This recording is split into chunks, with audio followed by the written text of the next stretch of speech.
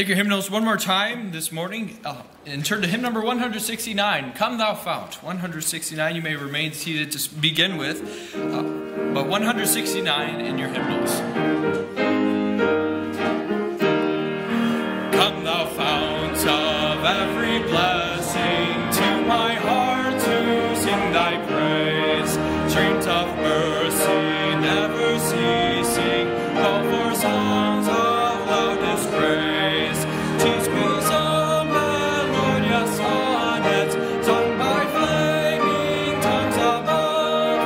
I fix upon it, mount of thy redeeming love. This next verse here talks about my Ebenezer, and it, um, uh, my mind's thinking about, I believe it's Jacob, and he, he had the rock, and he called it Ebenezer, and, and that, that stood for uh, a circumstance that God worked in his life, and it was to remind him of how God worked in his life. And um, uh, thinking of the baby dedication, that, that, that can have, you can raise your Ebenezer to remind you of how, how God has worked in your life. But uh, why don't you stand with me on verse 2 as we sing verse 2 and verse 3 of this, this hymn as our last here.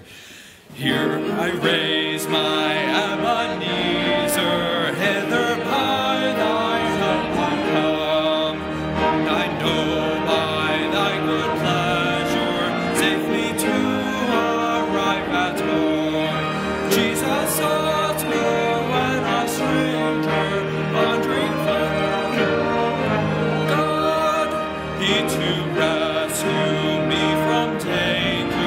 enter.